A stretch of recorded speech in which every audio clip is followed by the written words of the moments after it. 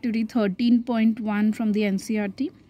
In this activity, you have to take a long straight conductor.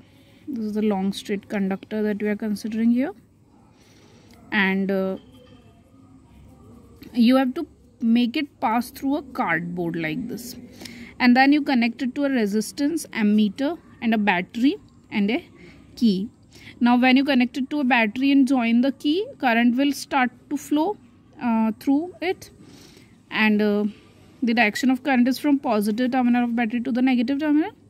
You see uh, and then you place a compass. A compass is a device that shows direction. And its pointer. The arrow which is shown as the pointer. The pointer always points along the geographic north uh, north pole. So uh, you place a compass near the wire and as soon as you start the flow of current by inserting the key. You see that compass starts to point in a particular direction deflects because um, uh, this is that it means because compass only responds to the magnetic field. So it proves that as soon as current starts to flow towards um, current starts to flow in a conductor magnetic field is generated which results in the deflection of compass.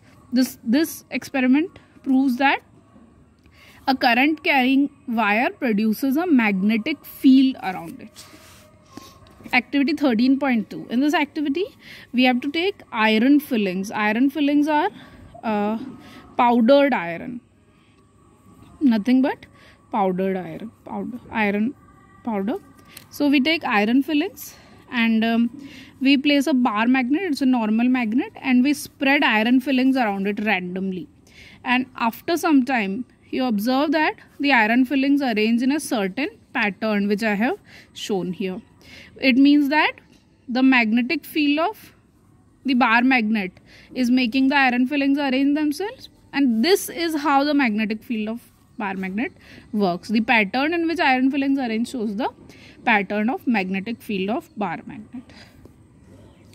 In the next activity 13.3 you again take a bar magnet and take the compass again now you place the compass near the north pole and whatever direction pointer points you mark a dot and place the compass ne next at that point. Again in this way again and again you keep marking the direction of north or direction of pointer and keep placing the compass keep making the next position of compass on that point itself and when you join all these dots which you have made you see this type of pattern in all the directions you'll do. You can put the compass down uh, below the magnet as well. So you will see that this on joining the dots this is the pattern that you obtain.